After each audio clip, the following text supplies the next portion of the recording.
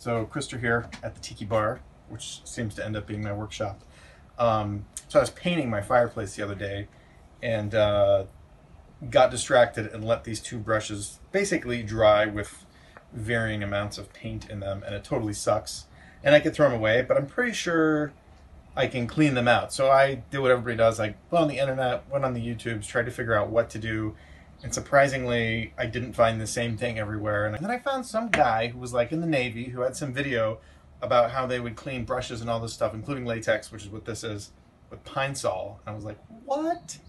Which just got me thinking, of course, there's got to be some non-solvent, non-hardcore, more natural way to do it that's also probably cheaper. So um, I found another guy that said um, Murphy's oil soap would work. So I thought, this stuff's super cheap. I'll just go buy it and try it and see what happens. So the game plan is I've got a cup of Murphy's, a cup of Pine Sol, two brushes in various states of paint that's definitely dried on there. I'm gonna put them in.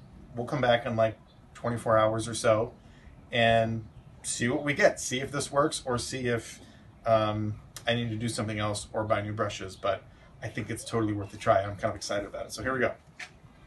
So we're just gonna I don't know. I'm just going to put this in. I'm not going to jam the bristles down. I may even like gaff tape the top or something so it doesn't put too much force on the bristles, but uh, maybe I should just show you beforehand, like this is the state of this brush. It's, it's, it's not one solid chunk, but it's, it's like 10 toes. so there's that one, Pine Sol, And then the red one is um, it's a little more mobile, but it's it's older and so it's dirtier higher up, and I want to see if that cleans up too. So this is in the oil soap, and that's it. Uh, we're back, and let's see what we know. So this one was super caked on there. This was the worst of the two, and um, so it's been in Pine Sol for two days, maybe three days, and it kind of worked a little bit. But I wouldn't say that it's like a thing you should put down in your notebook and go buy some Pine Sol. To me, this is kind of, uh, it's no better.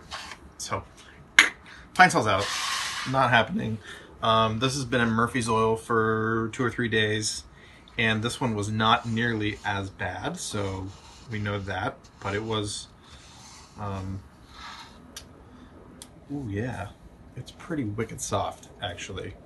So my guess is with some combing, um, the stuff is loose and it's totally coming off. So it's a thing. So I'm, I'm, I'm probably gonna try and wash this brush out um, and see how I do.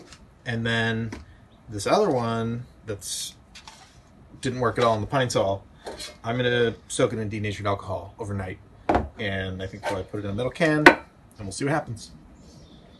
What's happened is I've soaked both these brushes in denatured alcohol. This one, this Purdy brush, wasn't too bad. It was the it was the much uh, much less ruined of the two, and I soaked it overnight. It softened up all the residue that was on there. I combed it out a bit, um, washed it, set it aside. Actually painted the next day, um, washed it again, and it's great. Pretty much it feels just like it did when I started. In fact, it's probably better than when that whole process started because a lot of the residue that's been left on there from other paint jobs over the years is pretty much gone. So um, it worked out for a little bit.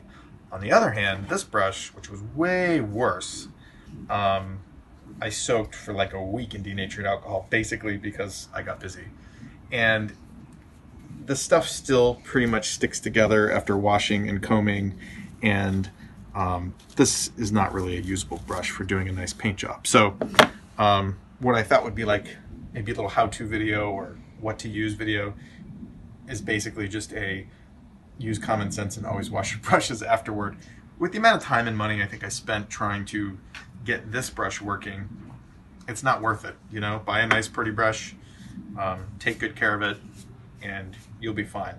I've been using nice brushes for decades and probably never left one like I had these. So um, just take good care of them. And in the event that you mess up really bad and leave paint all over them, just throw it away and get a new one. It's so much more worth your time.